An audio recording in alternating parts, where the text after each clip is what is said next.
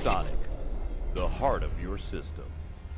Hi and welcome back to a new video and also a new episode of the viewer mail. And on my table you can see I have some coprocessors, Intel Xeon Phi coprocessors. Those are a little bit older right now. I mean, this one is from 2013. That is one newer generation. I would have to look it up, but I think it's from like 2015 to 2017, something in this direction. What we have here are CPUs in shape of a VGA. They have a PCI Express times 16 slot can be plugged into systems, something which is really rare well, rare in our world, not rare in like the high-end server segment because there are supercomputers made totally out of those Xeon Phi products. And we will today take them apart, take a close look at them, improve the cooling because a company from Austria contacted me because they are using those for scientific calculations and they had some temperature issues with those. As you can see or you can't see, the fact that they don't have any active cooling. They have passive cooling or you can see maybe if you look through it there is a heatsink inside here and it's it, and it's designed to be built inside a server rack and then all the air is pushed through this heatsink and this way it's cooled. It's not meant to be in a normal consumer system. Therefore, they had some temperature issues and contacted me and asked if I could help them improve the cooling and we will mount some water cooling gear on those together with a dual socket CPU board. We will mount everything inside a case, try to improve the cooling, take a closer look at those. That's the plan for this video.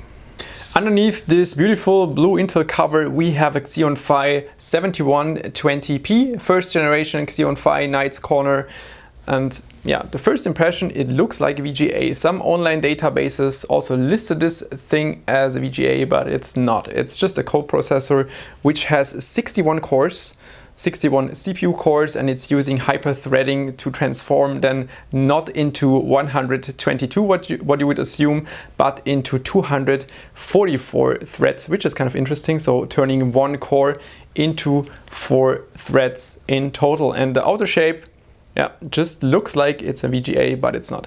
I would say let's just go ahead and open this thing. Remove the eight screws on the backplate. Backplate is mainly steel, all those parts right here. This could be copper, but I think it's also steel. The back plate is fixed with eight screws in total, holding together the cooler and the back plate at once. And the back plate has a very interesting way it works. Something I'm surprised that no GPU vendor somehow stole this idea. It looks very, very interesting. But first of all, let's try to remove this part.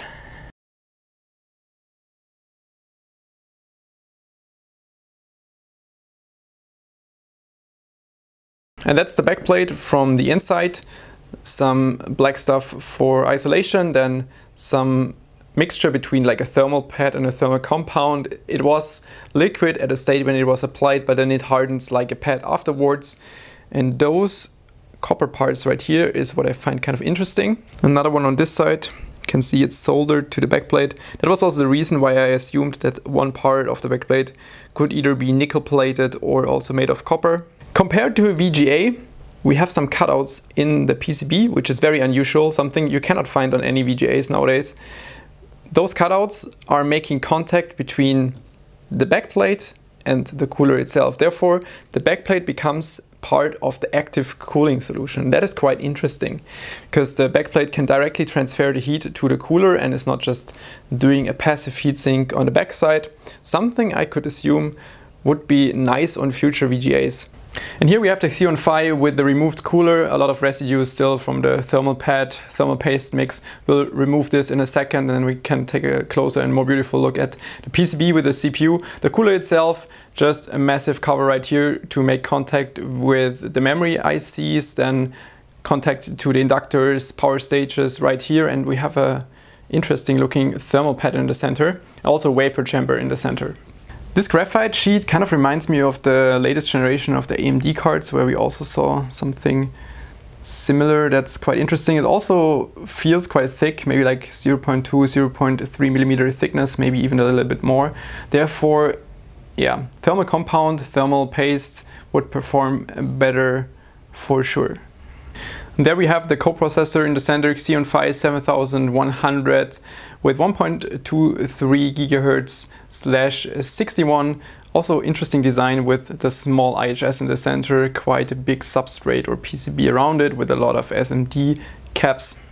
This 61 core CPU has 244 threads. Normally, you know, like a 10900K, which has 10 cores, 20 threads, just has the double amount of threads with hyperthreading than the normal amount of cores. And on those Xeon Phi CPUs, you have four times the amount of threads than what you have cores. And that also reflects what these things are designed for. They are designed for a massive amount of threads you can utilize with a lower performance per core. Therefore, for gaming, this would absolutely not work. You cannot even use it because if you just plug it into the slot, it doesn't show up in CPU-Z like a CPU you can run Cinebench on. That's not how those things work. You have to make your dedicated programs which are targeted for this thing and then utilizing it. Visually, it's not that much different from a normal PCI Express times 16 VGA. We have the core in the center or the processor surrounded by a lot of memory. In this case, we have GDDR5 with ECC, which means memory or error correction. And we have 16 gigabyte of this in total, considering that this pro product is from 2013. That is quite a lot. We have some temperature sensors on here, one on the bottom in the middle. This one is for checking temperature of the memory modules. Then we have a temperature sensor up here on the top left corner. That's for checking the temperature of the heatsink on the exhaust side. Then one more temperature probe on the right side for basically intake temperature or intake heatsink temperature. And then just some PWM controllers for voltage regulation right here. And again, if we're checking the heatsink without cover, center part is made out of copper. And that is the part which makes contact to the CPU itself. Then left and right side, we have aluminum fins connected over a heat pipe and those parts are dissipating the heat from the memory chips and also from the VRM. So thermally, this is quite a challenge, dissipating 300 watt in total. I mean, if you compare this with like a 2080 Ti, it's not the biggest heatsink and it has a higher power consumption, therefore you can probably get an image or an impression that this thing is not that easy to cool. We have an Iceman cooler. It looks like a VGA block. It's from Iceman Cooler, as I said before. It's a brand that you can probably only find on like AliExpress, at least here in Germany. I'm not sure if this is listed at any retailer, but yeah, on AliExpress it's easy to find, but not that easy to find anymore when it comes to the Xeon Phi blocks. But let's just go ahead and mount this thing. And in case you're wondering, Sheik is doing much better already. Doesn't have to wear the pixel lamp anymore. Doing much better already.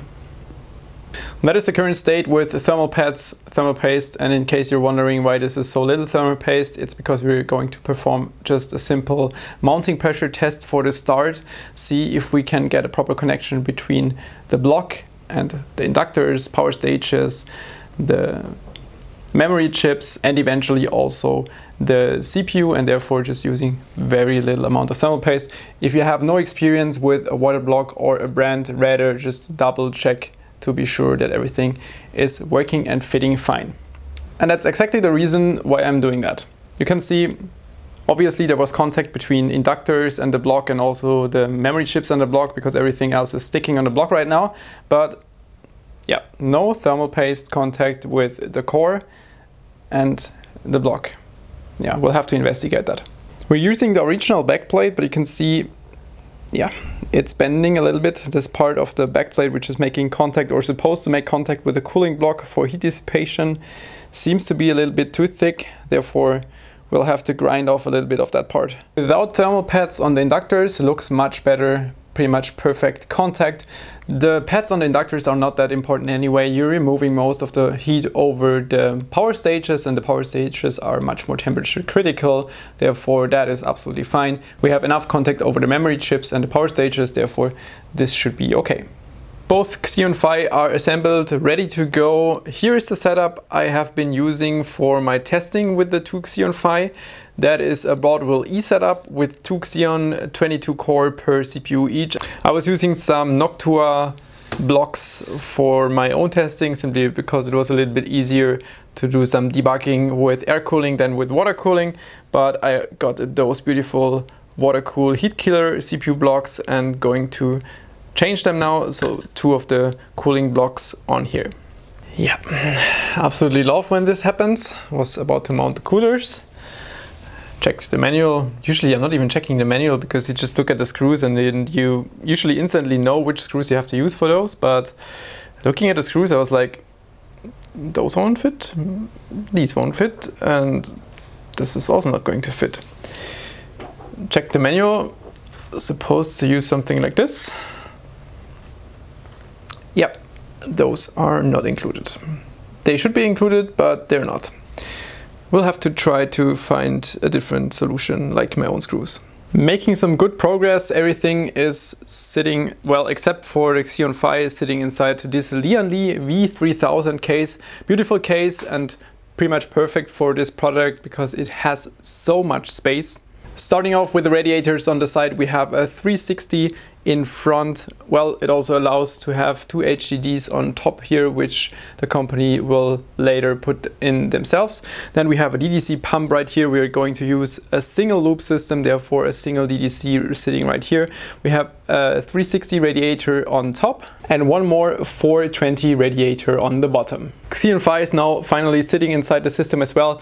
I had to play around with pretty much every adapter I have right here. You can see there's still some different combinations left on my table. The problem was that I was trying to fit something like this inside where you have a twisting or a twistable fitting adapter in between. The reason is you would try to first install this fitting, the rotary one, put it in the bottom one and then insert it in to the top part and if it's rotary makes things a lot easier and a lot better when it comes to um, stability and access to the parts and one more reason is the Xeon Phi doesn't have this small notch in the back which is holding down the PCI Express slot. This does not exist on Xeon Phi. Maybe you noticed earlier when we were taking it apart.